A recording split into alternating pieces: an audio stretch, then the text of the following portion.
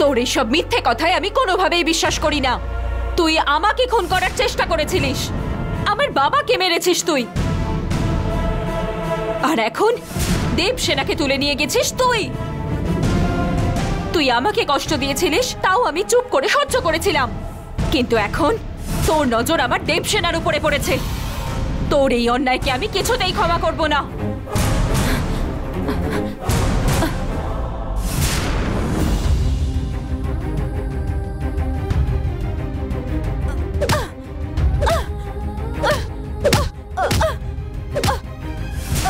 গঙ্গা নন্দিনীকে তুমি মেরো না। বাবা এটা আমাদের দুজনের সমস্যা। তুমি এর মধ্যে ঢুকো না। হ্যাঁ? ওকে আটকেও না। ওর মনের শান্তির জন্য ও যার করতে হয় করুক। তুমি চুপ করে থাকো। তুই আমার ব্যাপারে ভালো কথা বললে আমি চুপ করে যাব ভেবেছিস। আমার আজ যেটা করার আমি সেটাই করব। আমি তোকে আজ কিছুতেই ছাড়বো না। গঙ্গা থামো গঙ্গা। গঙ্গা না মা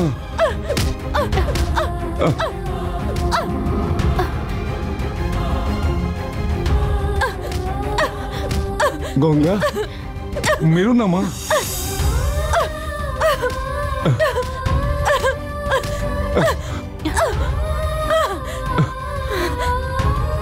আমাকে মেরে রাগ কমেছে তো? এবার শান্তি হয়েছে। সত্যিটা কি সেটা না জেনেই রাগের মাথায় তুই এইসব করছিস এখন? আমাদের মধ্যে কি সম্পর্ক সেটা তুই যখন জানতে পারবি, তুই নিজেই মনে মনে কষ্ট পাবি গঙ্গা।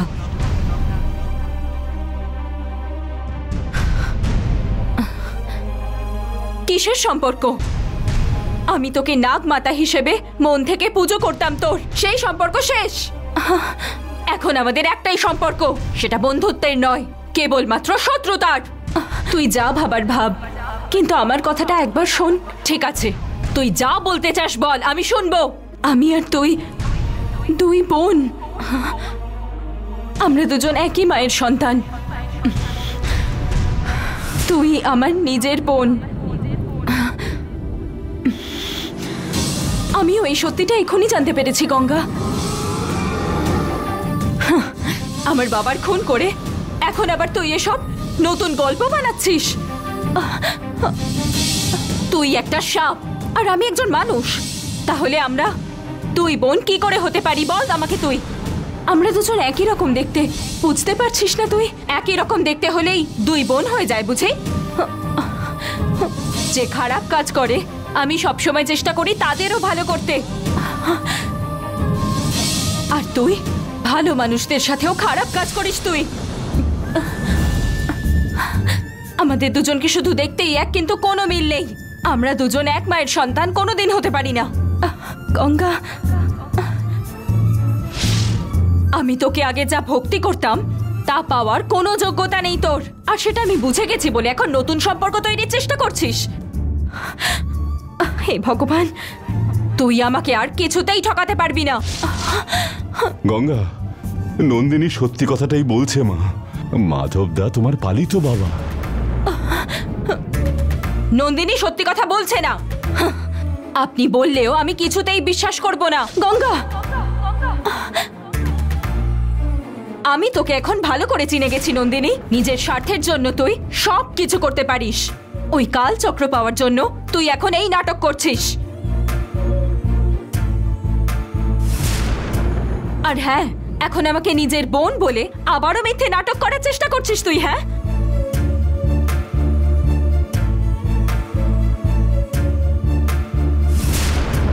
এই নাটকে আমি আর বিশ্বাস করি না।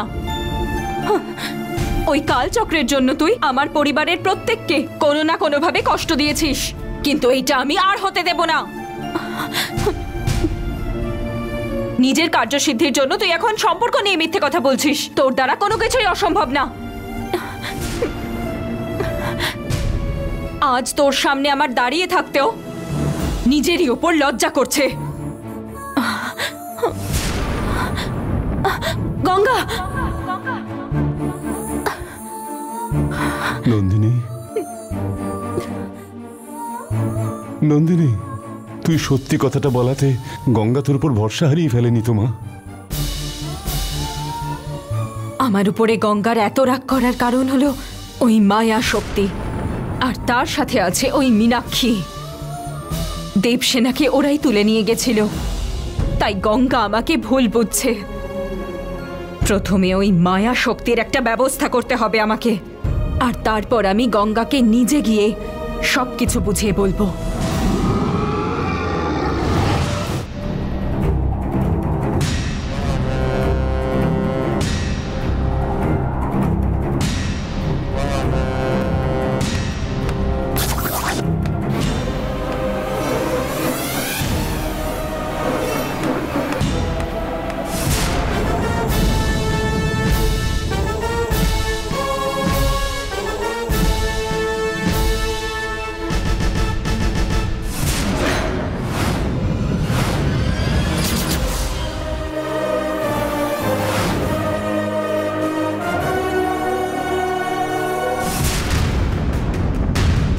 কার জন্য কাজ করছিস সেটা আজ আমি খুঁজে বার করবই।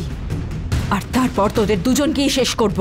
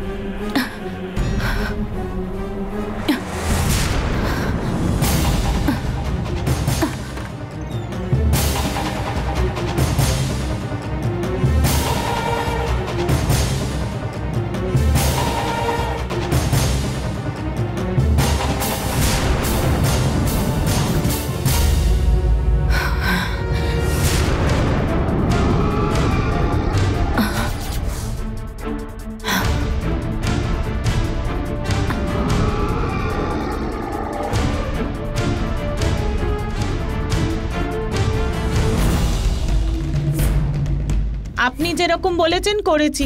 এরপরে কি করতে হবে?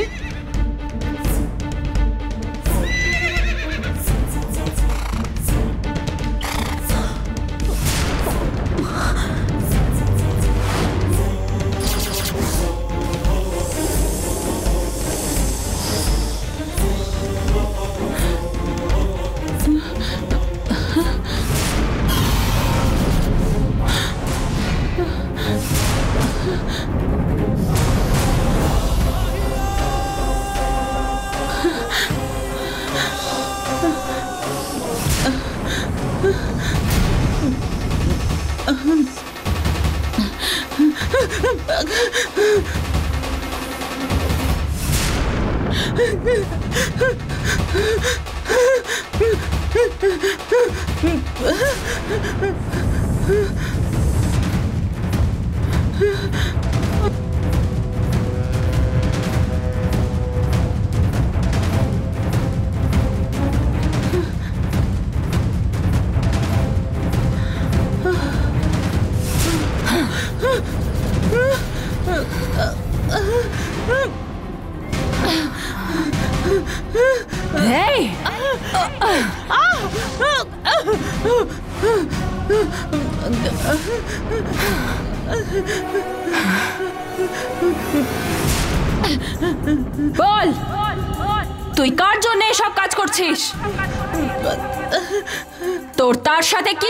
সম্পর্ক নিজের রূপ লুকিয়ে রেখে যে মায়া শক্তি ঘুরে বেড়াচ্ছে সে কে?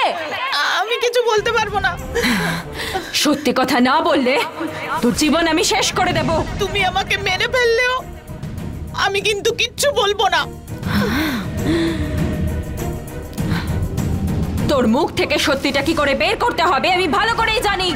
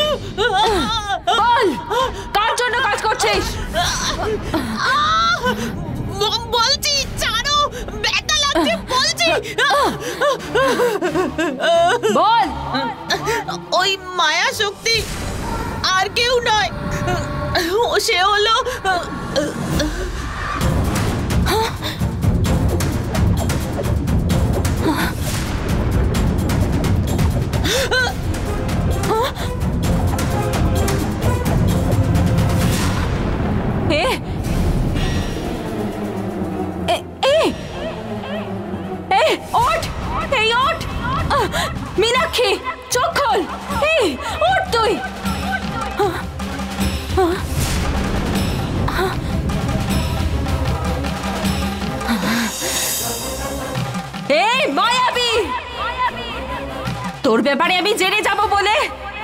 তুই এই মীনাক্ষীর জীবন শেষ করে দিলি। তুই যেখানেই থাক, তোকে আমি কিছুতেই ছাড়বো না। কিছুতেই না।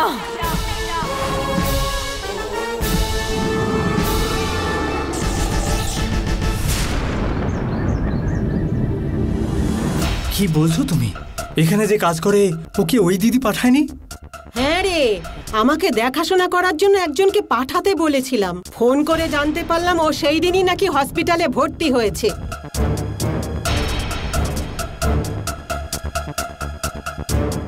ও আমাদের বাড়িতে নাকি কাউকে পাঠায়নি? ওই মীনাক্ষী, এইসব ব্যাপারে সব কিছু জানতো, শুধুমাত্র নাটক করে এতদিন পড়েছিল এখানে।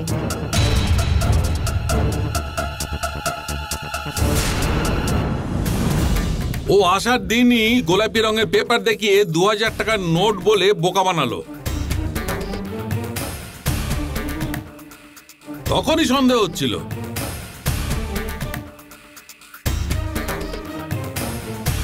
পিসি হ্যাঁ? তুমি ঠিকঠাক জিজ্ঞাসাবাদ না করেই ওকে কেন কাজে রেখেছিলে?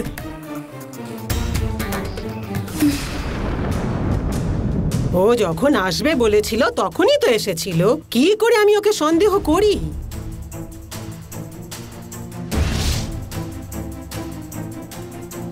ওর চেনাশোনা বলে আমি আর কিছু বলিনি।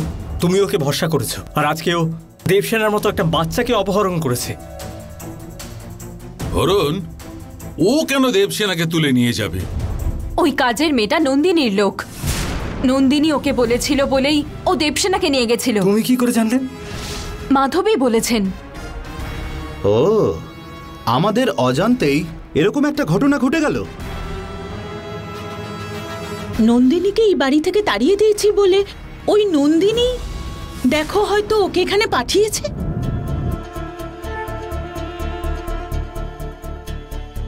নন্দিনী আর মীনাক্ষীর মধ্যে তো কোনো সম্পর্কই নেই। তাহলে কেন এরা অকারণে নন্দিনীর সাথে মীনাক্ষীর নাম জড়িয়ে দোষারোপ করছে? মীনাক্ষী নন্দিনী পক্ষের মেয়ে বলে ও কোথায় গেছে আমরা ধরে ফেলব তাই পালিয়ে গেছে।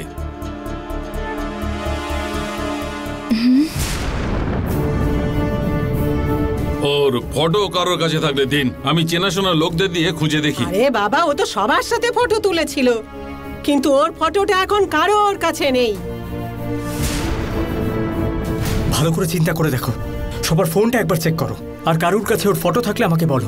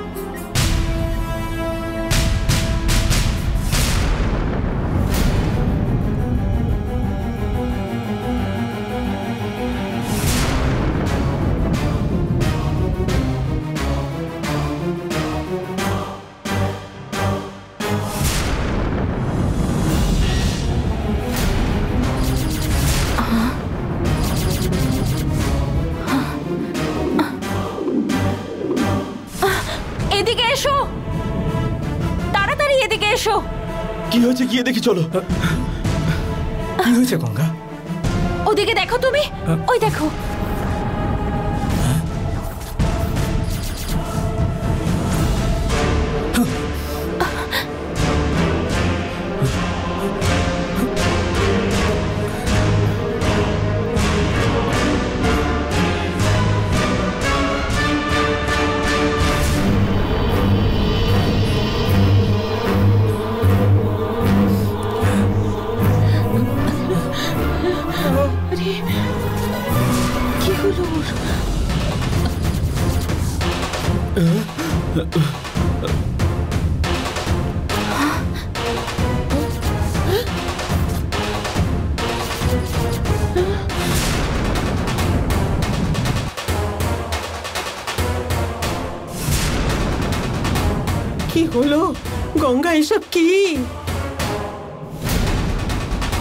শরীরটা পুরো নীল হয়ে গেছে।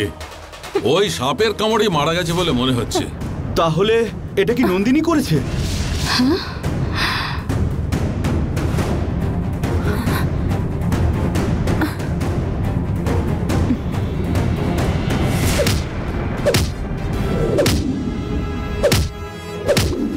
মীনাক্ষী নন্দিনীর হয়ে কাজ করছিল সেটা আমরা সবাই জানতে পেরে গেছি বলে মীনাক্ষীকে মেরে ফেলল ও। যদি নন্দিনীর হয়ে কাজ করতো তাহলে নন্দিনী ওকে মেরে ফেলল কেন? কোনো সন্দেহই নেই এটা নন্দিনীরই কাজ। কি করে জানলে? মীনাক্ষীর ব্যাপারে সত্যি আমরা জেনে গেছিলাম বলে নন্দিনী ওকে মেরে ফেলেছে। নন্দিনীকে আমি ছোটবেলা থেকে পুজো করে আসছি। ও আমাকেও মারার চেষ্টা করেছে। আর এই অবস্থায় ওর জন্য কাজ করে থাকা মেয়েটাকেও ছেড়ে দেবে? তাই তো মেরে ফেলেছে।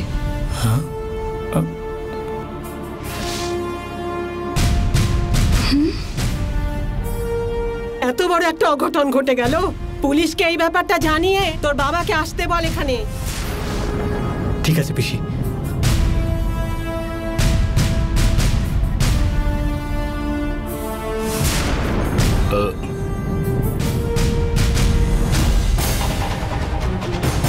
হ্যাঁ বল অরুণ। বাবা তুমি কোথায় আছো? গাড়ি চালাচ্ছি রে বাবা। গাড়িটা একটু সাইডে করবে। কেন রে বাবা কি হয়েছে? বাবা আসলে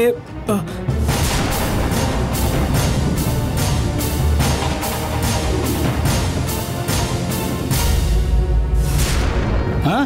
তাই নাকি? ঠিক আছে আমি এক্ষুনি আসছি। তুই পুলিশকে একটা খবর দিয়ে দে। হ্যাঁ ওকে বাবা আমি এক্ষুনি ইনফর্ম করছি।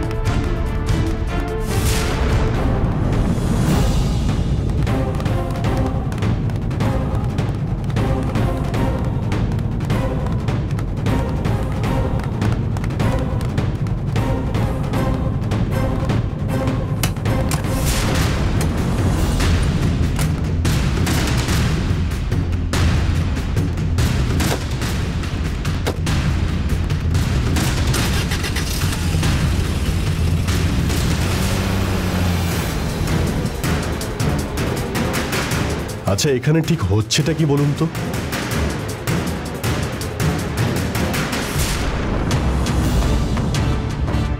এই কিছুদিন আগেই তো একজন সাপের কামড়ে মারা গেল। এখন আবার আপনার বাড়ির কাজের মেয়েও সাপের কামড়েই মারা গেল। এই সব কিছু দেখে তো আমার মনে হচ্ছে আশেপাশে অনেক সাপ রয়েছে।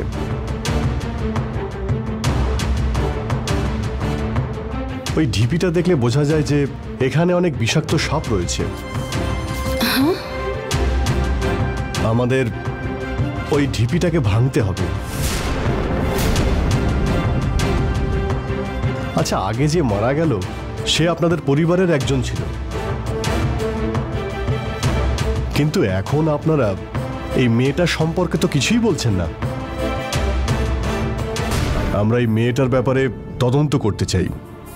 যদি আমাদের প্রয়োজন হয়, তাহলে আপনাদের স্টেটমেন্ট দিতে পুলিশ স্টেশনে আসতে হবে। স্যার আমি এখন আসছি। নন্দিনীর এই কাজের জন্য আজকে আমাদের পুলিশ স্টেশনে যেতে হবে। এরকম চলতে থাকলে নন্দিনী সবাইকে একের পর এক মেরে ফেলবে। বিপদ বাড়ার আগে আমাদের কিছু করতে হবে। মাধবী এখন স্বামীজির বাড়িতে গেছে। ও ফিরে আসুক। তারপর আমি নন্দিনীর ব্যবস্থা করছি।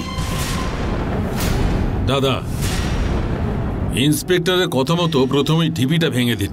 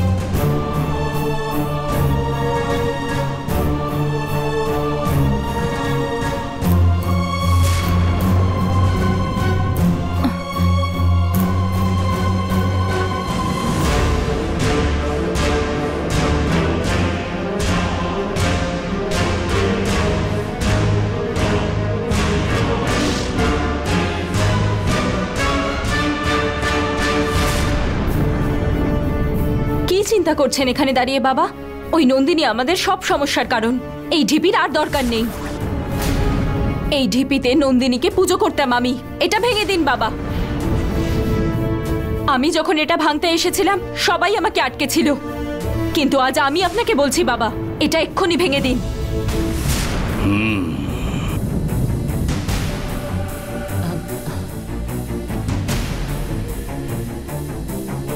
এই ঢিপিটাকে আমরা নিজের বাড়ির একটা অংশ বলে মনে করতাম। কিন্তু নন্দিনীর চিহ্ন মাত্র যেন আজ থেকে আমাদের এই বাড়িতে না থাকে। বাবা, তুমি ওটাকে ভেঙে দাও।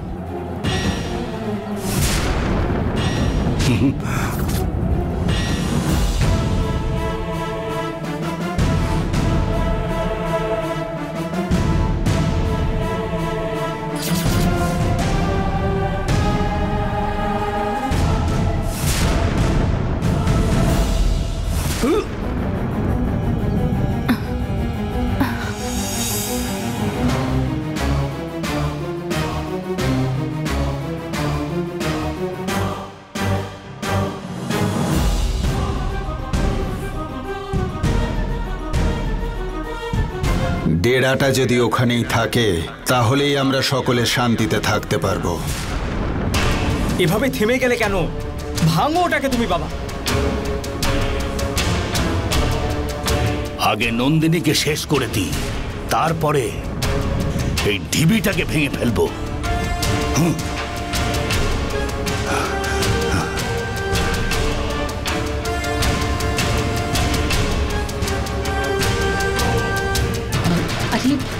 হলো বলো তো? দাদা এইভাবে চলে গেল?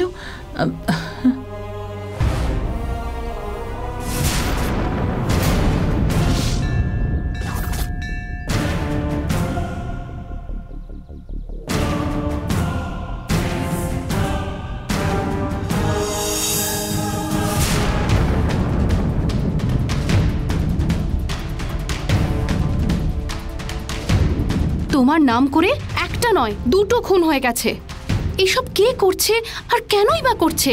কিচ্ছু বুঝতে পারছি না নন্দিনী। আমি জানি। হ্যাঁ?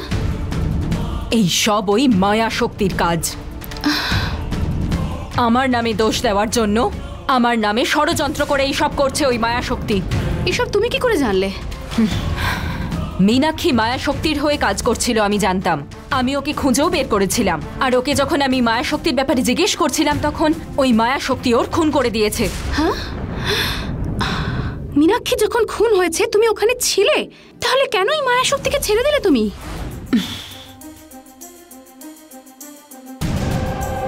আমি কিছু একটা করে ওঠার আগেই ও ওখান থেকে হঠাৎ করে অদৃশ্য হয়ে গেল। তোমার চোখে ধুলো দিয়ে ওই মায়া শক্তি ওখান থেকে পালিয়ে গেল?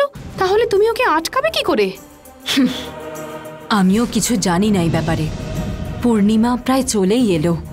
তার আগে ওই মায়া শক্তিকে কি করে হারাবো আমি কিছুতেই বুঝতে পারছি না। তুমি এত চিন্তা করো না নন্দিনী। ওই মায়া শক্তি হয়তো তোমার থেকে বেঁচে পালিয়েছে। কিন্তু এখন অব্দি মায়া শক্তি তোমার সামনে যতবার এসেছে ওই ঘটনাগুলো তুমি মনে করার চেষ্টা করো। সেখান থেকেই তুমি একটা রাস্তা পাবে।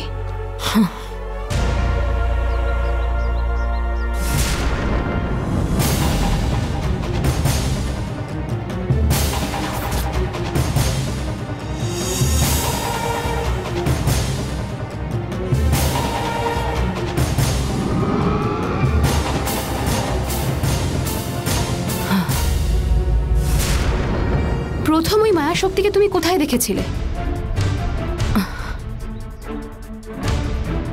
জঙ্গলের দেবীর মন্দিরে কালচক্র আর নেই সেটা যখন আমি জানতে পারলাম তখন। আর তারপর কবে দেখলে?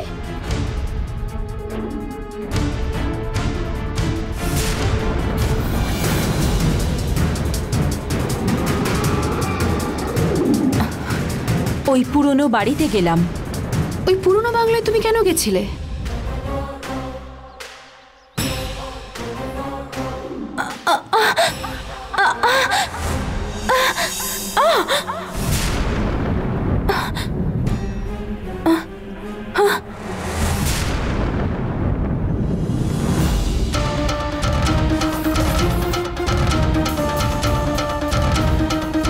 রুদ্রাক্ষগুলো আমাকে ওই পুরনো বাড়িতে নিয়ে গেল।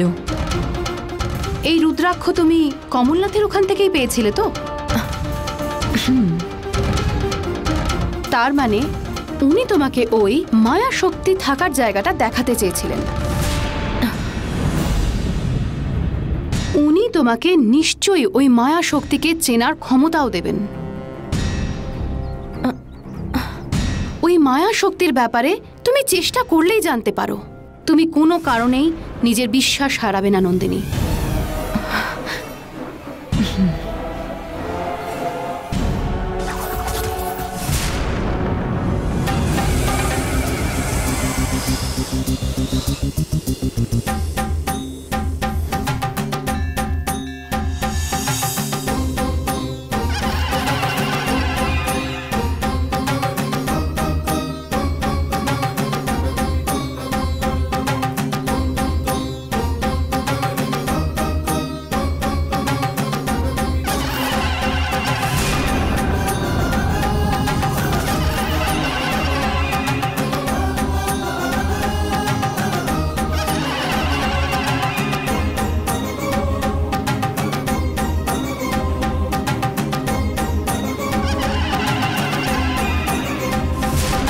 মা, ওই মায়া শক্তির আসল পরিচয় কি? আমি এক্ষুনি জানতে চাই। ওই মায়া শক্তিকে খুঁজতে খুঁজতে একটা করে দিন পেরিয়ে যাচ্ছে, মা। একটা করে জীবন শেষ হয়ে যাচ্ছে। ওই মায়া শক্তি যা যা অন্যায় করছে, তার ভার আমার উপর পড়ছে। এভাবে চলতে থাকলে যদি আরও বড় কোনো দুর্ঘটনা ঘটে যায়, তাই তার আগে আমাকে ওর পরিচয় জানতে হবে। পূর্ণিমার আগে আমাকে কাল চক্রগুলো জঙ্গলের দেবীর মন্দিরে রাখতে হবে। না হলে আমি শক্তিনাগের শক্তি হারিয়ে ফেলব।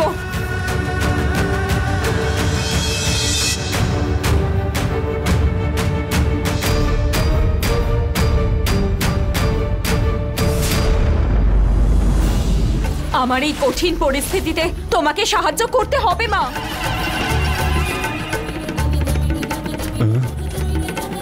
ওই মায়া শক্তির পরিচয় কি? আমি এক্ষুনি জানতে চাই, মা। তুমি যদি আমাকে একটুও ভালোবেসে থাকো, আমার অস্তিত্ব তোমার জন্য এটা যদি সত্যি হয়। ওই মায়া শক্তির আসল রূপ আমায় দেখাও, মা। কেন চুপ করে আছো, মা? ওই মায়া শক্তির আসল চেহারা আমাকে দেখাও। তুমি বলবে না তো? কেন ওই কমলনাথের কাছে পাঠিয়ে আমাকে এই রুদ্রাক্ষগুলো দিলে?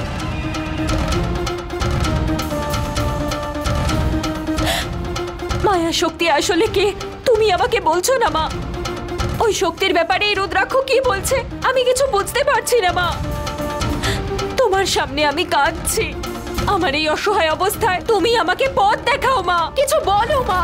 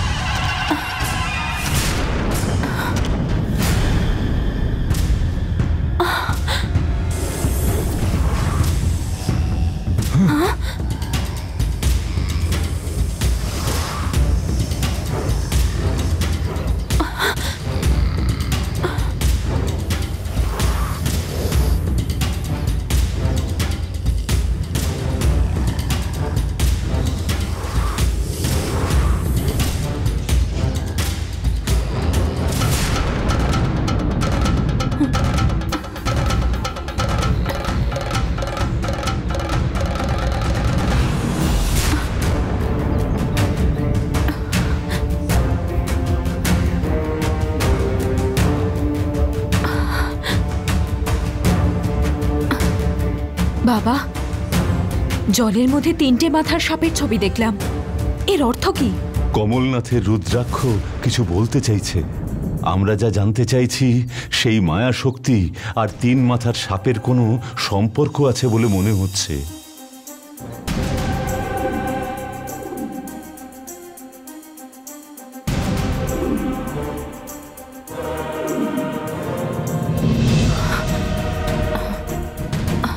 কি চিন্তা করছিস তুই, নন্দিনী? গঙ্গার বাবা মারা যাওয়ার সময় ওনার হাতে সাপের কামড়ের দাগ ছিল। মীনাক্ষী যখন মারা গেল তখন ওর গোটা শরীর সাপের কামড়ে নীল হয়ে গিয়েছিল। এই দুটো ব্যাপারে অদ্ভুত মিল পাচ্ছি। ওই মায়া শক্তির সাথে এই দুটো ঘটনার সঙ্গেই সম্পর্ক রয়েছে। সাপ মানে সত্যি আর ন্যায়ের দিকে থাকা একটা প্রাণী। ওই প্রাণীটা কি করে মায়া শক্তির সমর্থনে থাকবে? আমি সেভাবে এখনও কিছু বুঝতে পারছি না বাবা। তিন মাথার সাপের ব্যাপারে রঙ্গনায়কী মা বলতে পারবেন। এই তিন মাথার সাপের মধ্যে কি রহস্য? সেটা রঙ্গনায়কী মা নিশ্চয়ই জানবেন। তাহলে আয় মা এক্ষুনি যাই আমরা। হ্যাঁ চলো। হ্যাঁ। মা? মা? আসছি। বলো। আম, রঙ্গনায়কী মায়ের সাথে আমরা দেখা করতে চাই। কিন্তু মা তো বাইরে গেছেন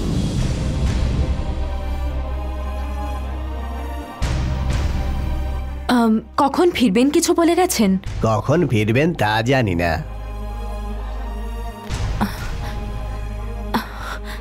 আপনাদের দেখে তো মনে হচ্ছে আপনারা কোনো সমস্যা নিয়ে এখানে এসেছেন। আপনারা ভিতরে আসুন মা চলে এলে তারপরে কথা বলে নেবেন।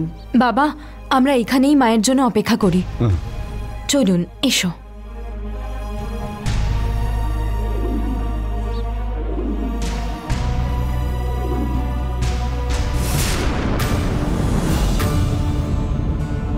আমাদের মনে কোনো কষ্ট হলে আমরা এইখানেই বসি। আপনি এখানে বসতে পারেন।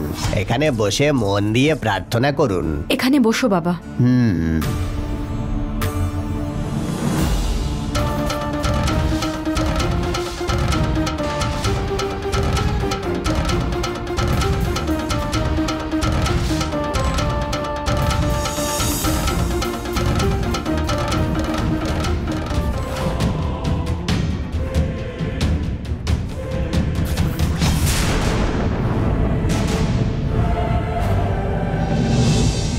ওই মায়া শক্তিকে পাঠিয়ে কাল চক্রটা নিয়েছে।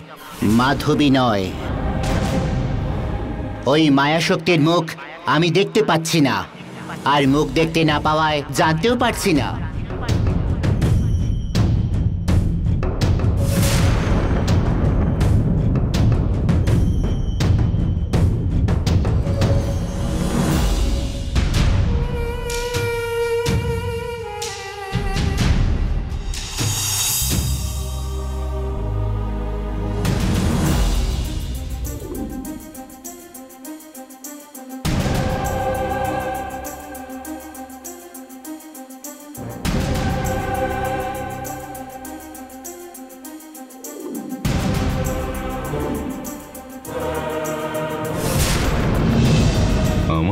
হচ্ছে ইনি ওই মায়াবী ঘোড়াটা।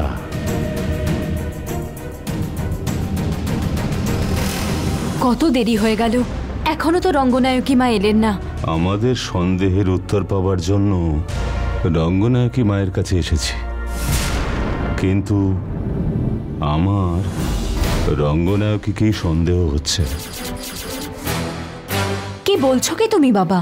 কষ্ট পাওয়ার সময় আমরা না বললেও নিজে থেকে এসে সাহায্য করা কি? এখন আমরা সমস্যা নিয়ে ওনার জায়গাতেই এসেছি। উনি কি সেটা জানেন না? উনি হয়তো নিশ্চয়ই কোনো দরকারি কাজেই গেছেন। তাহলে কেন? রঙ্গনায়কই এখানে আসেননি?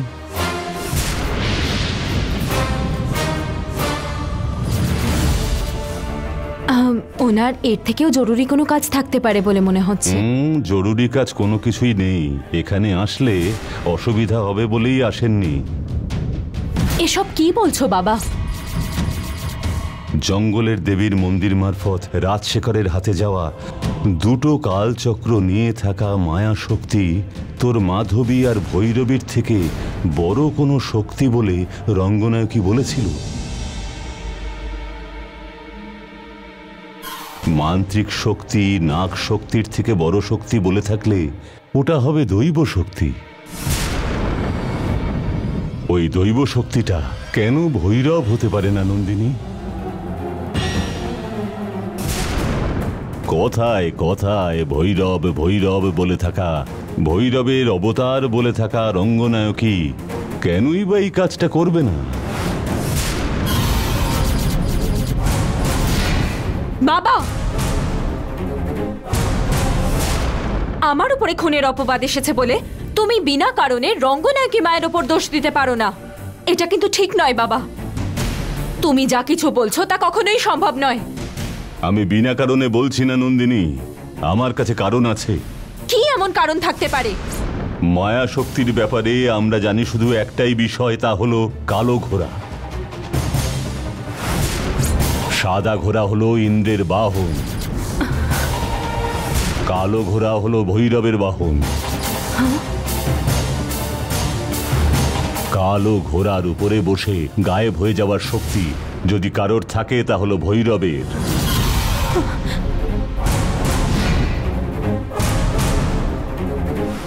রঙ্গনায়কী ভৈরবের শক্তিটাকে নিজের স্বার্থের জন্য ব্যবহার করেছেন।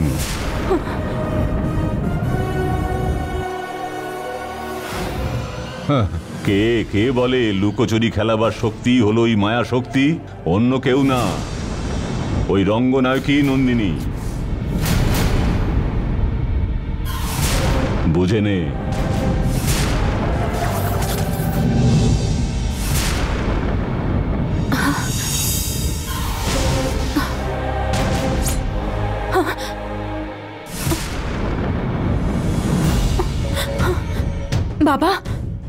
ওই জিনিসটা দেখো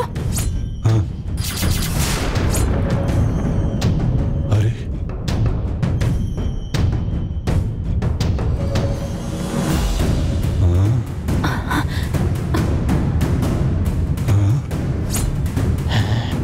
এ কি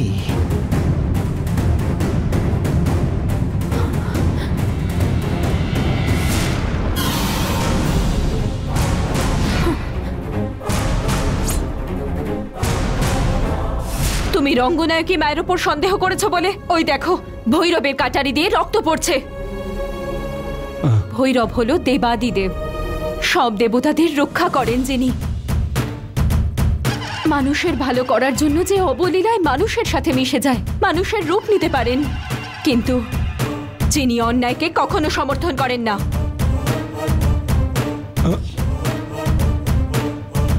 রূপে যিনি রুদ্রমূর্তি। যার হাতে খড়গ আছে, চরণে যার ঘুঙুর পড়া, হাতে যার ডমরু বাজে।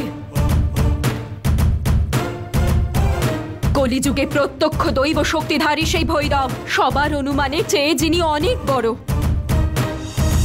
সত্যের ন্যায়ের যিনি সমর্থক, ভৈরবের পায়ের ধুলোতেও কখনো কলঙ্ক লাগে না। তার অবতার হয়ে থাকা রঙ্গনায়কী মা কি করে কলঙ্কিত হন? রঙ্গনায়কী মায়ের মধ্যে কোনো খাদ নেই। রঙ্গনায়কী মাকে সন্দেহ করো না, বাবা।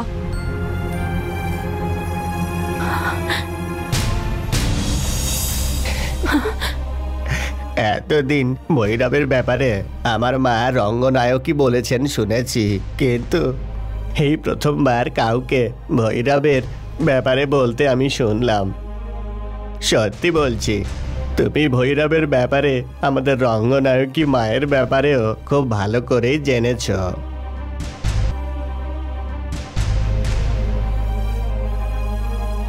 ভৈরব, কিছু না বুঝে শুনেই আমার বাবা কিছু ভুল কথা বলে ফেলেছে। ওনাকে তুমি ক্ষমা করে দাও, আমি হাত জোর করে তোমায় বলছি, ক্ষমা করে দাও ভৈরব। ভুল হয়েছে। হ্যাঁ। হ্যাঁ।